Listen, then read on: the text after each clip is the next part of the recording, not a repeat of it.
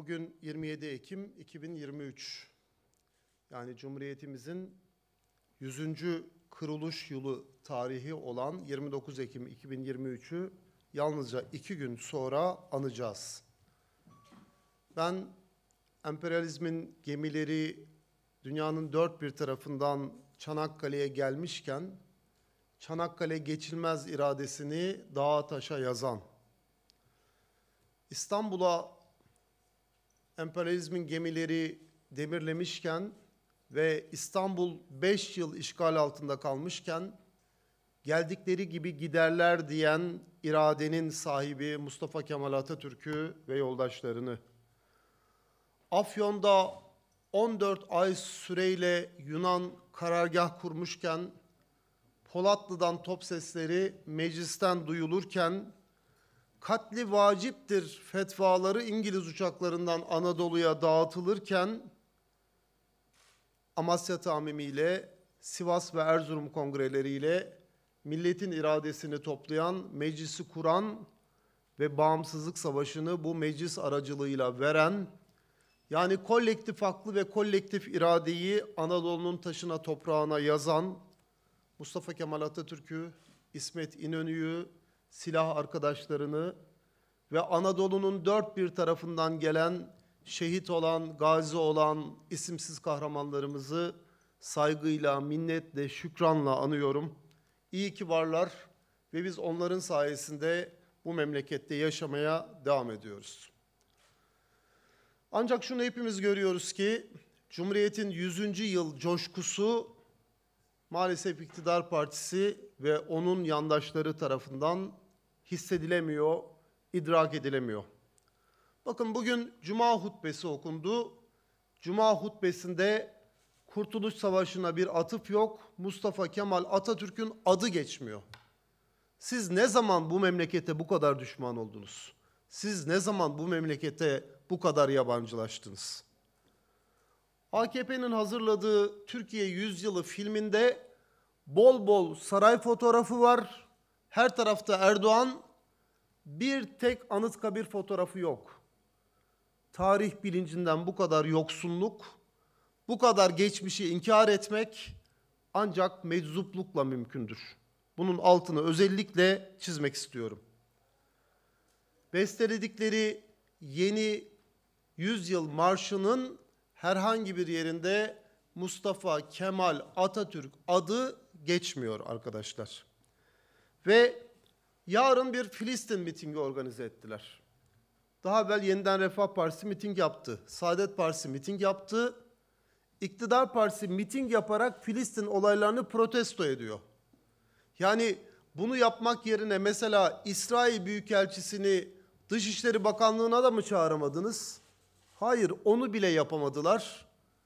Ve onlar bunu yapmadan İsrail kendi büyükelçisini güvenlik gerekçesiyle geri çekti.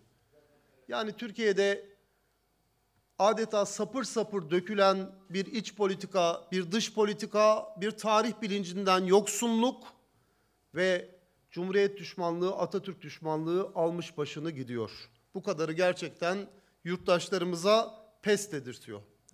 Arkadaşlar tarihi unutmamalıyız. Bu memleket kurulduğunda Türkiye'nin şekeri yoktu kendisinin ürettiği, unu yoktu kendisinin ürettiği. Sanayi tesisi diye sayılabilecekler birkaç tuğla fabrikasından ibaretti. 1923'te bu ülke kurulduğunda önce üç beyaza dayalı sanayileşme çerçevesinde Türkiye'nin her tarafını un fabrikalarıyla, şeker fabrikalarıyla ve dokuma fabrikalarıyla doldurdular. Bakın Cumhuriyet Halk Partisi'nin bu memlekette neyi var diyenlere gururla sayabileceğimiz Türkiye'nin dört bir tarafına yapılmış fabrikalar var. Bu fabrikalar 1929'a kadar tarıma dayalı sanayilerdi ama ondan sonra 1930'lardan sonra başlayan büyük sanayi krizi sonrasında Türkiye bizi kriz teğet geçti gibi ucube lafların arkasına sığınmamış ve dünyanın en büyük ağır sanayi hamlesine girişerek Türkiye'nin her tarafını sanayi fabrikalarıyla donatmıştır. 1939'da İkinci Dünya Savaşı bu memleketin dünyanın her tarafının kapısını çaldığında bu memleketi yönetenler bir tek düşman postalının bu memlekete girmesine izin vermemişlerdir. Ve o zor günlerde toprak reformuna, köy enstitüsüne imza atmışlardır. Demek ki bu ülkenin kurucuları yalnızca bu ülkeye bir tarih bilinci vermekle kalmamışlar. Aynı zamanda bir askeri başarı ve onu tamamlayan bir iktisadi başarının da mimarı olmuşlardır. Peki AKP ne yaptı? Bir de ona bakalım. Hani Türkiye Yüzyılı filminde Anıtkabir'i göstermiyorlar ve adeta tarihi 2002'den itibaren başlatıyorlar ya. Bir de onlar ne yapmış bakalım. İşte bunlar arkadaşlar Cumhuriyet'in en zor zamanlarında yapılıp da AKP tarafından satılan fabrikaların listesidir. Cumhuriyet Halk Partisi'nin bu memlekette bir dikili ağacı yok diyenlere en iyi cevabı bu iki rulo gösteriyor. Kırmızı ile yazılanlar CHP'nin bu memleketteki dikili ağaçlarını siyah puntolarla yazılanlar da bu dikili ağaçların AKP tarafından nasıl söküldüğünün, nasıl peşkeş çekildiğinin fotoğrafıdır. 1923'ten 2002'ye kadar Türkiye'nin bütün cumhuriyet hükümetleri en zor zamanlarda 779 milyar TL bütçe kullandılar. Buna karşılık 2002'den bugüne AKP vergi gelirleri, özelleştirme gelirleri ve diğer gelirlerle beraber 4 trilyon 300 milyar TL vergi ve toplam gelir elde etti. Yani Cumhuriyet hükümetlerinin 79 yıl boyunca kullandığı gelirin 6 katını AKP tek başına kullandı. Peki söyleyelim ne yaptılar? Köprü yaptık diyorlar değil mi arkadaşlar? Türkiye'nin ilkini 1973 yılında kendi parasıyla yaptığı Boğaziçi Köprüsü'nün 45 yıl sonra yanına iki tanesini yap işlet devretle konulmasını bir büyük başarı olarak anlatıyorlar. Türkiye'deki yolları, bölünmüş yolları, otoyolları, kendilerinden 30-40 yıl evvel yapılmış yolları, yapılabilen yolları bir büyük başarı olarak anlatabiliyorlar. Atatürk Havalimanı'nı kırarak pistlerini yaptıkları bir hava alanını dünyanın en büyük başarısı olarak sunabiliyorlar. Oysa gerçekler ortada. Bakın arkadaşlar, Türkiye'yi 6 Şubat 2021 tarihinde, 2023 tarihinde düzeltiyorum bir büyük inanılmaz deprem vurdu. Hesaplara göre AKP'nin kendi hesabıdır, kamunun hesabıdır. Konut hasarı 56.9 milyar dolar. Arkadaşlar bugünkü döviz kurundan çarptığımızda 1.6 trilyon TL gibi bir toplam konut zararından bahsediyoruz. Peki yalnızca KKM'ye 600 milyar TL'yi bu memleket gömmedi mi? Yani 6 Şubat'ta ortaya çıkan deprem zararının üçte birinden fazlasını siz uyguladığınız iktisat politikalarıyla yalnızca KKM'ye gömdünüz. Yani depremden çok daha büyük bir zararı AKP tek başına yapıyor. Dün Merkez Bankası faizlerini yüzde 35'e yükseltti. Arkadaşlar hafızalarımız canlı, unutmadık.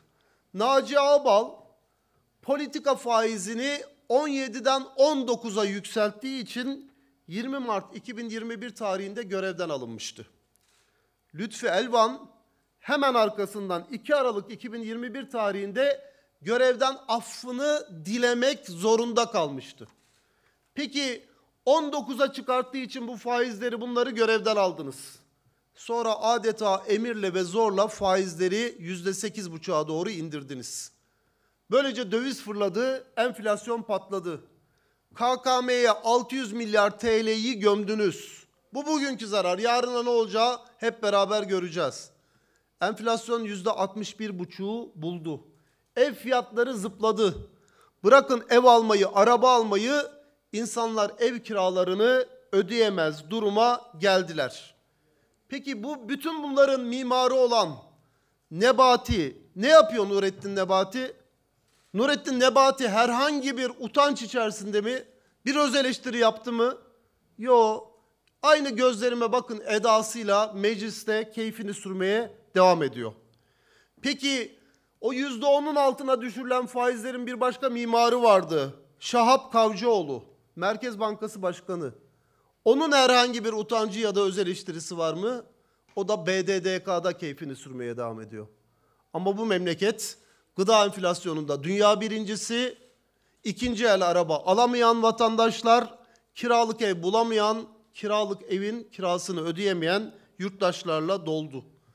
Yalnızca bir yıl içerisinde arkadaşlar 2022'den 2023'e Türkiye'nin iç borcu 1.3 trilyon TL'den 1.9 trilyon TL'ye çıktı. Bakın bu sözcükleri kolayca telaffuz ediyoruz. Bunlar bir makro ekonominin yıkılışıdır. Bir memleketin ekonomik anlamda iflas etmesinin görüntüleridir. Dış borç yine bir yılda 1.4 trilyon TL'den 2.1 trilyon TL'ye çıktı. Türkiye arkadaşlar yüksek enflasyon ve işsizliğin birlikte ölçüldüğü sefalet endeksinde dünyanın ilk 10 ülkesi arasına girdi.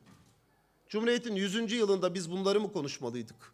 Bunlardan dolayı öz eleştiri yapan, üzüntü duyan, utanç içinde olan bir iktidar görüyor musunuz? Tam tersine kendisinden önde, evvelki Cumhuriyet'i kötülemeyi marifet sayan bir iktidar görmeye devam ediyoruz.